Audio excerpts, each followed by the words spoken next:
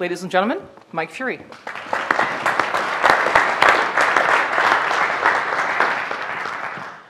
Thank you, Mo. Uh, good afternoon, everyone.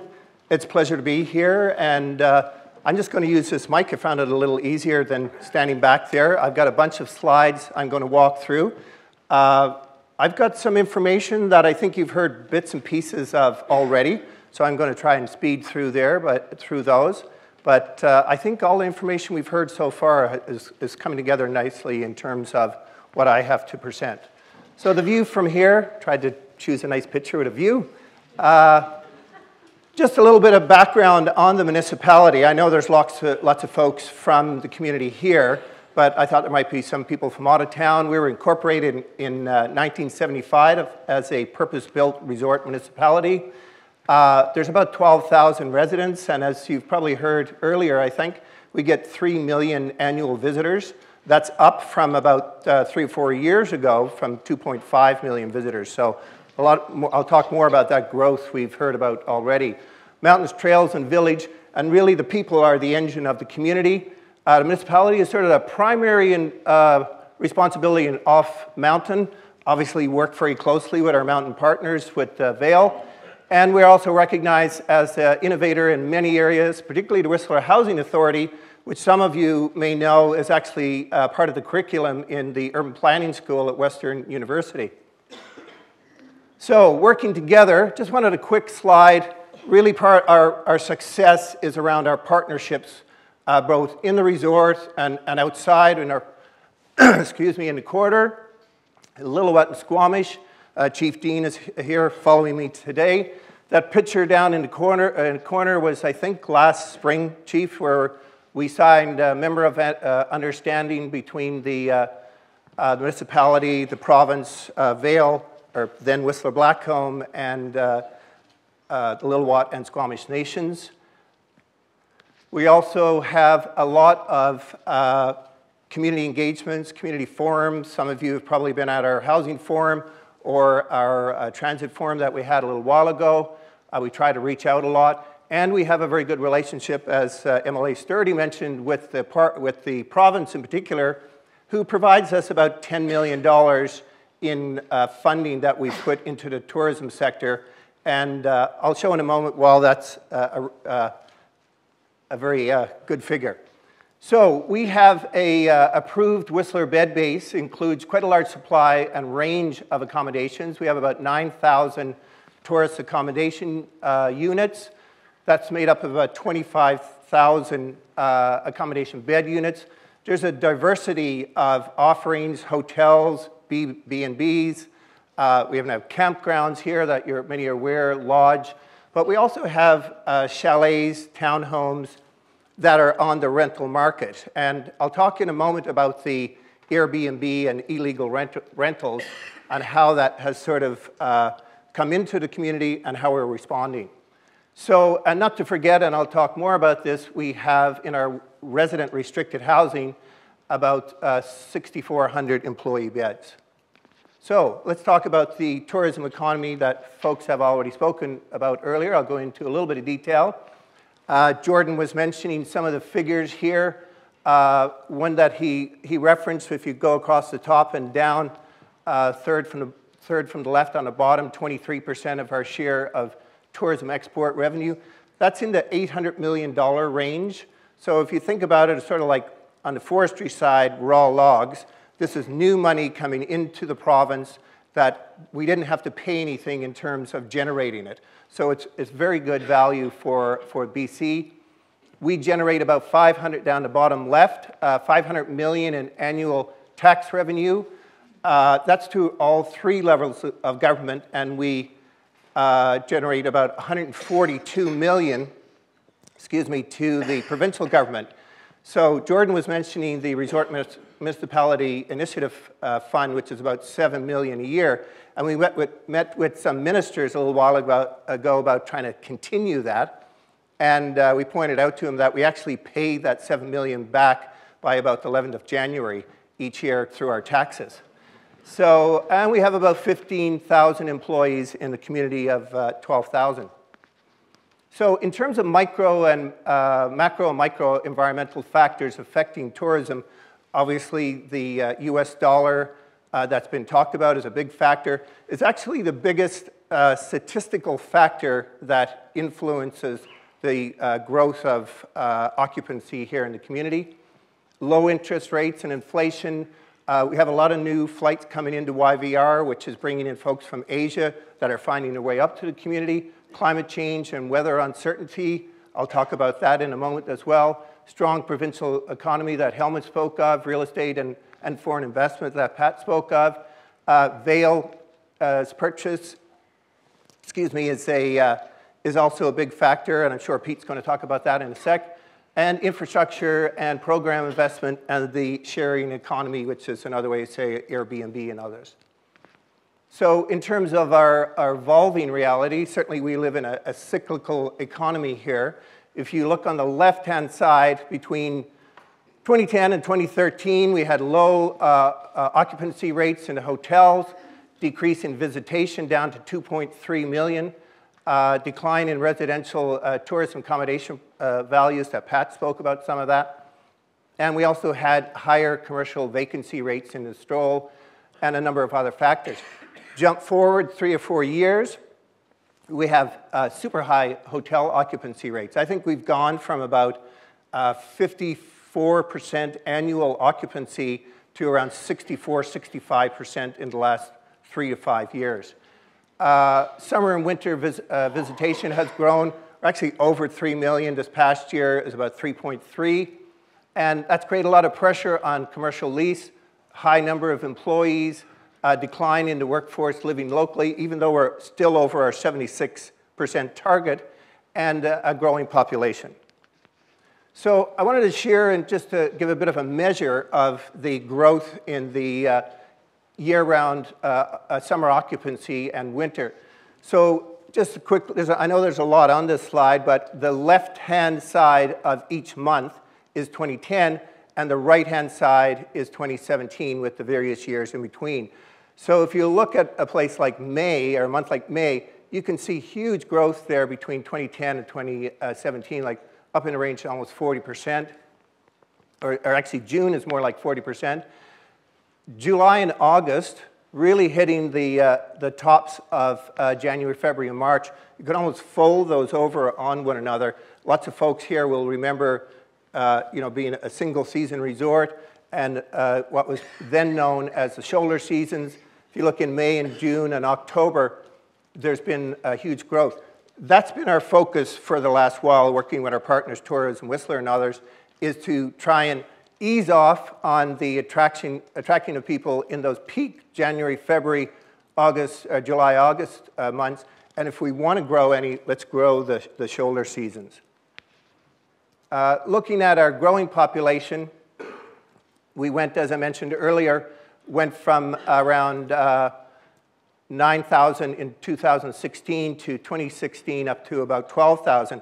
And Pat was mentioning about the change in uh, sort of who's coming here. If you look at the uh, 20 to 20, sorry, the uh, 30 to 39 group, just around the bottom of that chart on the right, you can see a real increase. But what's interesting is the 20 to 24 group has just flattened off. We haven't had any group, sorry, any growth in that, uh, that age group for a while. And then on the far right, uh, we have that 65 plus has really shot up. And uh, Pat again spoke to some of that.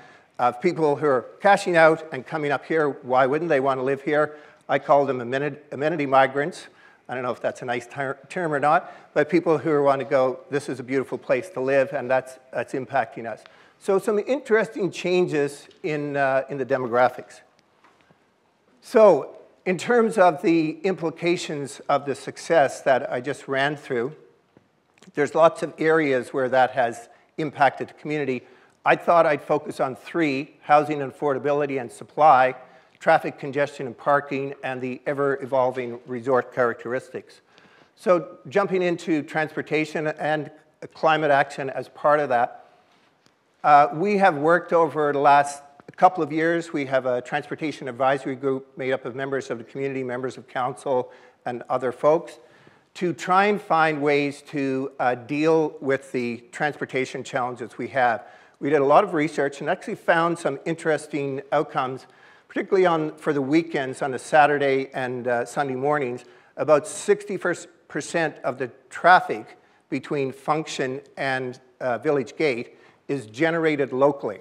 I distinguish between generated locally and locals. It doesn't necessarily mean they're locals, but there are people here who sort of a churn of moving around. So that goes to, you know, what change we want to make. Uh, Jordan spoke about uh, putting in a third lane from Function to uh, Village Gate. We have a study underway, or actually the Minister of Transportation does, to look at that and how it would, would require some uh, sorry, road widening in certain areas. That could be a, a combination with a, uh, a cheater bus lane. A cheater bus lane is where buses pull out and, and get around the, uh, the other buses, so, or get around the traffic.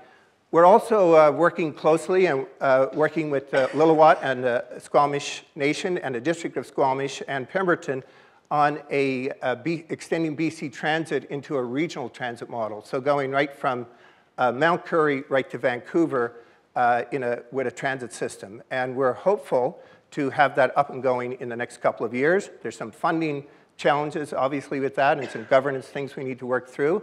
But uh, after talking to uh, ministry uh, staff, and certainly when, uh, when the Liberal government was in, and, and I think the new government, there isn't a lot of money for new infrastructure, like you know, big road jobs, and they're, they're not coming up with another six or seven hundred million dollars for the highway, but I think there is money for transit along the highway. So what we're trying to achieve is increased availability of parking, uh, flexibility in travel options, reduced congestion, and all of that contributing to uh, climate change and more success in business.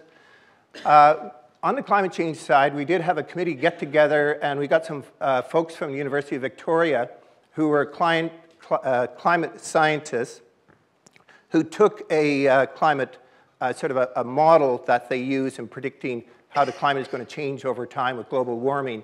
And they looked at from 1970s to about uh, out to the 2050 uh, or 2070 and this is what they came back with, is over the next 50 years or so, we're going to have an increase in the intensity and frequency of heavy rains, longer, hotter, drier summers, milder winters uh, with increasing precipitation uh, falling as rain near the valley bottom. But interestingly, the snowpack at a higher level will be seen, uh, will see limited change, which is encouraging.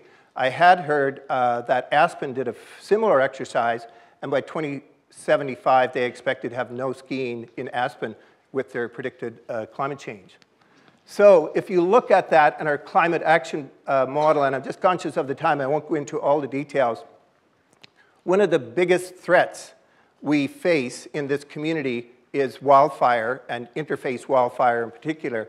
And the municipality is putting about a, a million dollars a year into that to really mitigate the chance of wildfire uh, and looking at things like, if you go down a picture down in the Callaghan, putting a, a fuel break in there so the wild, if a wildfire doesn't happen, it, it, stops rather than keep coming up the valley. Similarly, uh, over on the uh, Cheakamus side.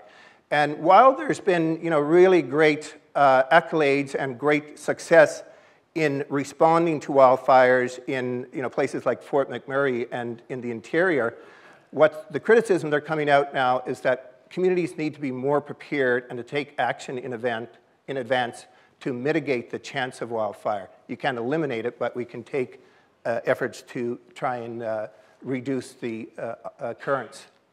So on housing, which I think we're all interested in here, we have uh, hit our 76% uh, target, or 75, we stayed over that. There has been the growth in, it's interesting if you go back and look at 2006, 7, and up to uh, 15, 16, we're really back to where we were uh, in terms of population.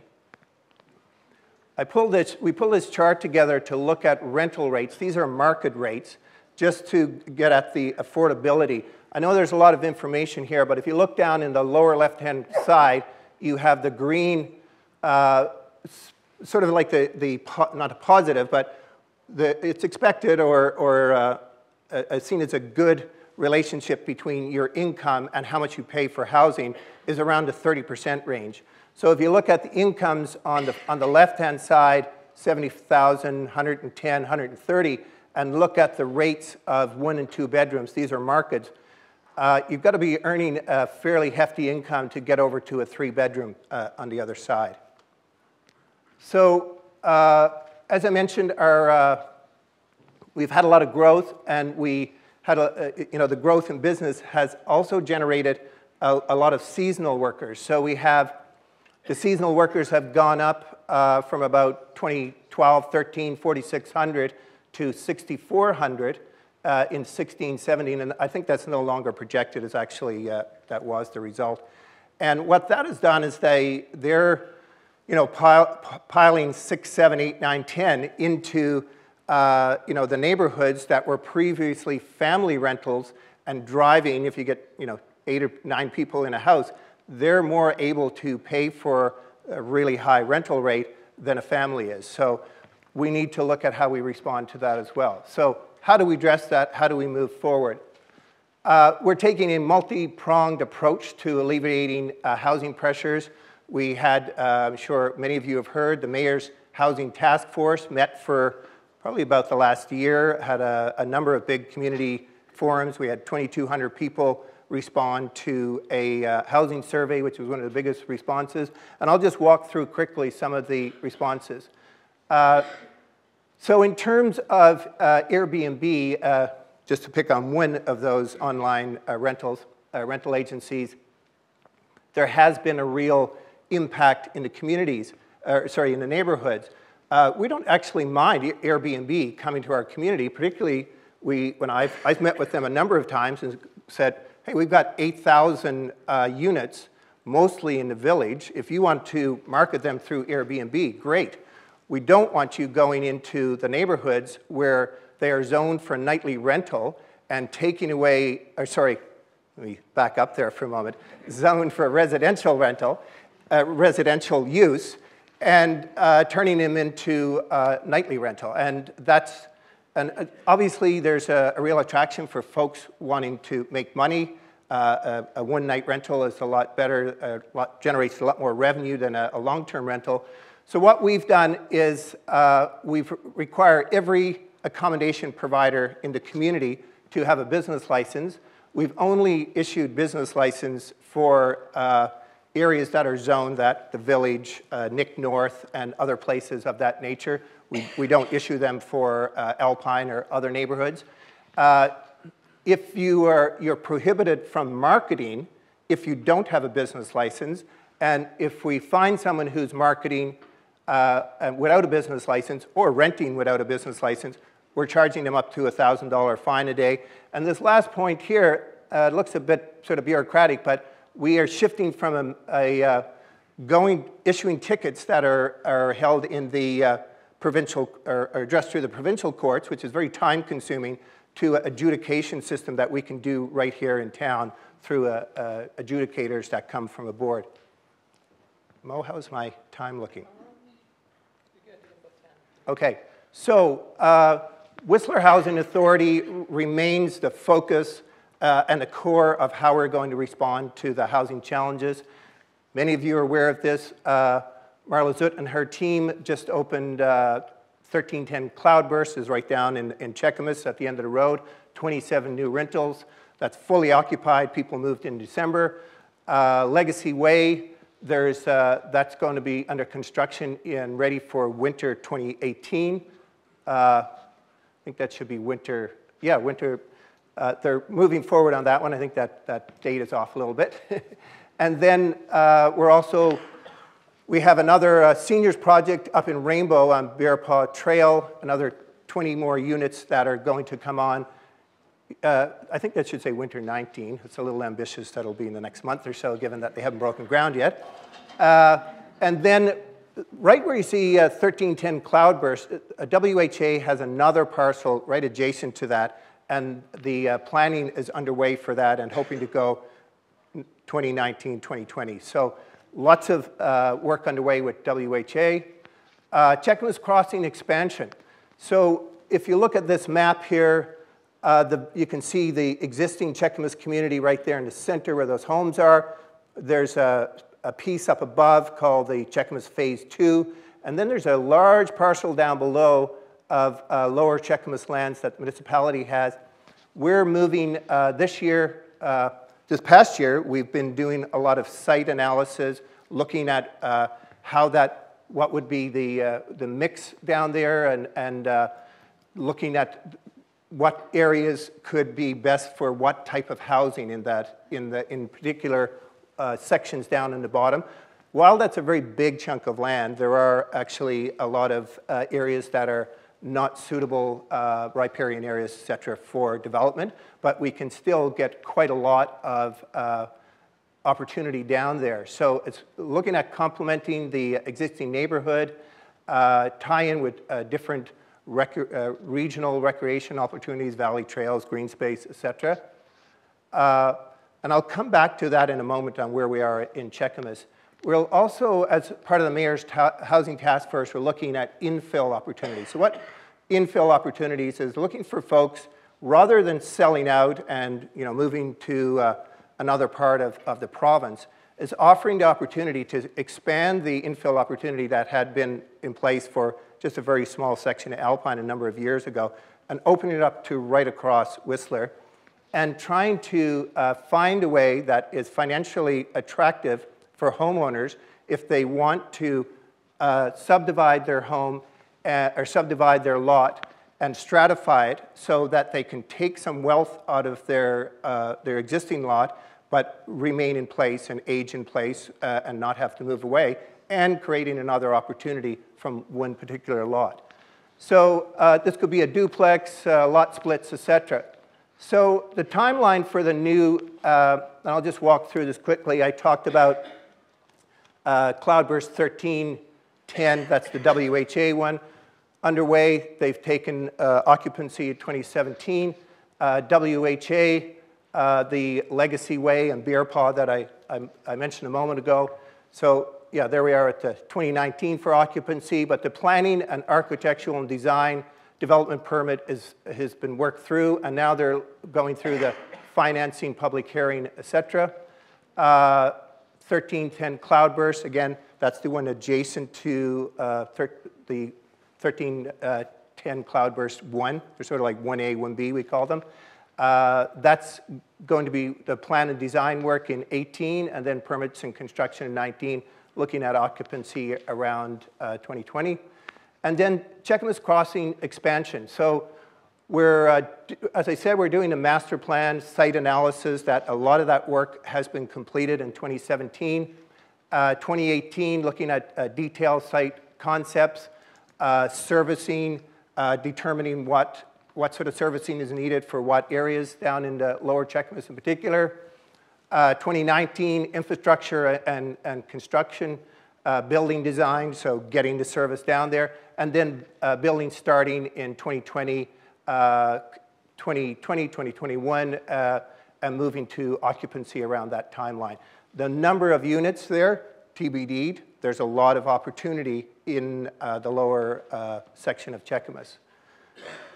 So, and, and I should mention as well that for the, they, those would be WHA uh, housing, but it will be a mix of both rental and uh, WHA uh, ownership. And I probably should have mentioned earlier that all of those WHA uh, in the first three lines are rental. Uh, so adding more rental uh, product. So, and then the infill policy will continue.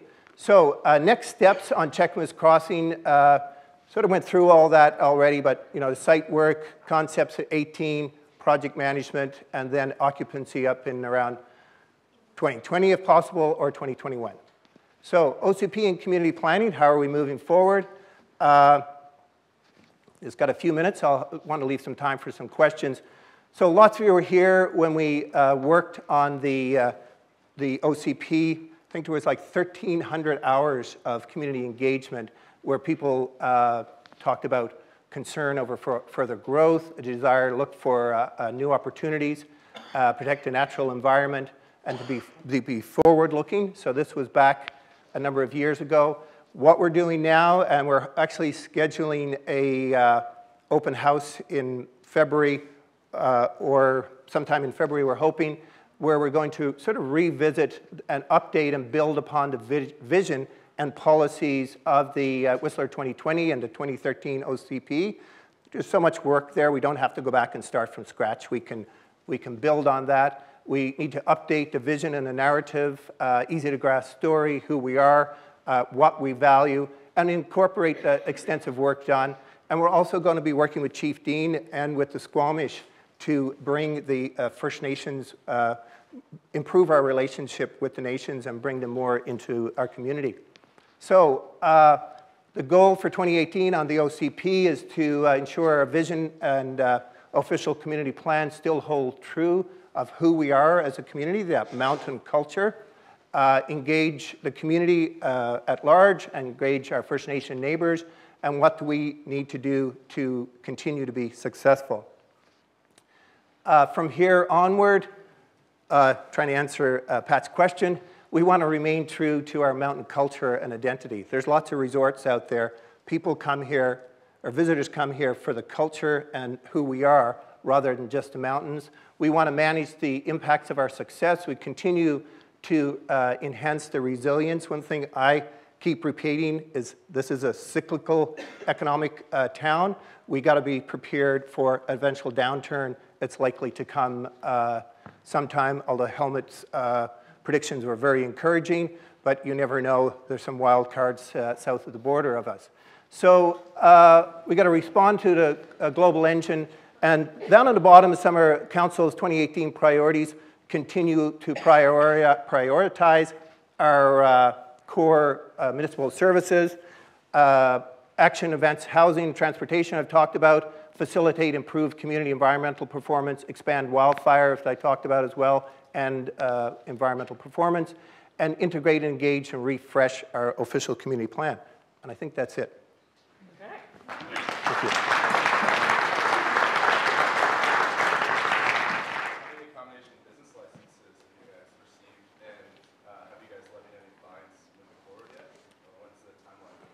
Uh, I think we, I couldn't tell you a number, but you know, we're, we're, we're getting like everyone will have an accommodation business license, uh, all the major hotels. And just on that one, for example, we're not want, like the Fairmont has 500 rooms, they don't need 500 business license, so they would have one license. Uh, I don't have a number off the top, but we, it has been a really good take up. And we have moved forward and find some folks. We have uh, taken people uh, through the provincial court process, which is very timely, uh, very costly, and, and takes a lot of time, like up to 10,000, 15,000 legal fees. That's why we want to move to the adjudication. I think there are some other questions. Yes, ma'am.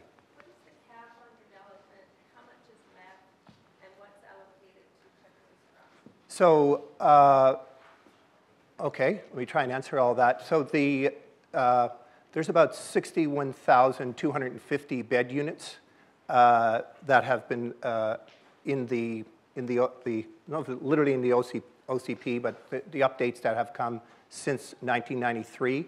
I think about 53,000 or 500, or 53,500 or 54,000 have been developed. Uh, Cheakamus, I don't have a particular number, uh, but there is a lot of development opportunity down there in terms of uh, bed units uh, like above 1,000, 15 uh, range. Meaning in addition to what's Uh, that would, there's an overall amount and that would be in there. So we have, and uh, you know, people talk, uh, the community has made some uh, decisions on how big they want to be and how much growth they want.